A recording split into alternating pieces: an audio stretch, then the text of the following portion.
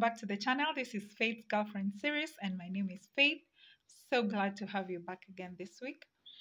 And today I want to give a special shout out to our brothers who are watching this channel. Thank you.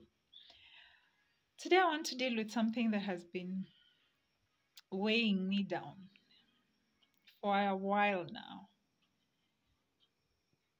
And this goes out to all the married women and i think for you for you who's still single this is still your episode. There's probably something you can learn out, out, out of what we are discussing today. Um, of late there's been an increase in the number of women who are leaving their husbands because that their husbands have lost their jobs or they're not making as much money as these women were expecting, which frankly for me is such a disappointment. I'm so disappointed because as a woman, or even a man, but this mostly it's women who, who are doing this. As a woman, your parents called you, eh? like mine. They sat me down and asked me, Faith, are you sure you want to get married? Are you sure this is the person you want to marry? Are you sure? I was asked that question like enough times. And I said yes. And then we went and stood in, in front of God and I made a vow. I think the part you women keep forgetting is the vow you made. You made it before God. You are telling God, God, for richer, for poorer, I will stand by this man.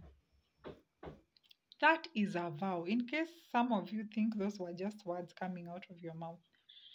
And God does not delight in a person who gives vows and does not fulfill them. In fact, He calls that person foolish. So if you're thinking about leaving your husband because he, he lost his job, or uh, you married him thinking he has more money than than he actually uh, uh, has. And then you've just uh, dis- you discovered it and now you're thinking why did i marry him? As long as you stood in front of people and in front of god and made a vow to love that man to honor him and to respect him. And i'll repeat this if you did not add a clause over there and say if only he has money if you put that clause feel free to leave but if your vows were the same as mine, woman, unpack your things. Eh? And let your heart find rest in that house, in that man that you married. Because one, you are you are breaking a vow you made to God.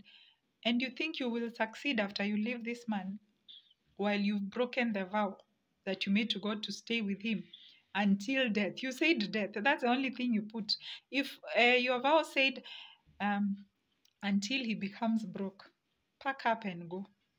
If your vow said uh, until he becomes sick, so now that he's sick or he had an accident and lost his leg or something, if there was a clause you added and said until he becomes sick, it's okay, pack up and go.